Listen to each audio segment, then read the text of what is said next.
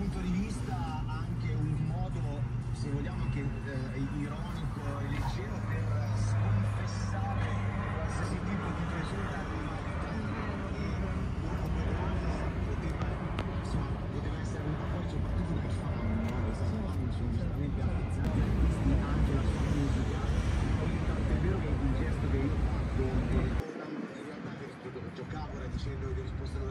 è vero perché vi ho risposto sull'onda sicuramente dell'entusiasmo, della gioia